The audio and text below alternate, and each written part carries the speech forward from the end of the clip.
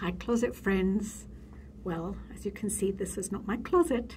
I'm at work because this morning I rushed out of the house, desperate to get into the office. I had a batch of emails that I had to get back to people.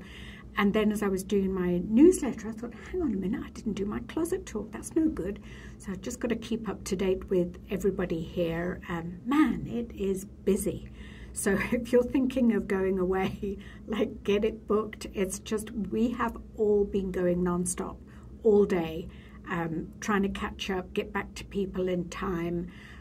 Unfortunately, the hold times with the supplier is still very long. Um, you know, it's just one of those things, I guess. I spoke to uh, WestJet the other day and they were just saying they hired 600 people and they're still looking for more.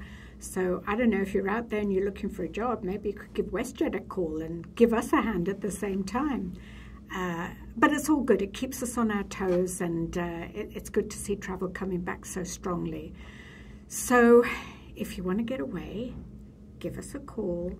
We can get you away somewhere beautiful. There are some great specials on river cruising. We have got some very, very good private deals which unfortunately I cannot share on this platform. But if you're interested in a river cruise with substantial savings for this year, give us a call. We'd love to help you out, make those dreams come true. Okay, next time, I promise you, I will be in my closet. Cheers.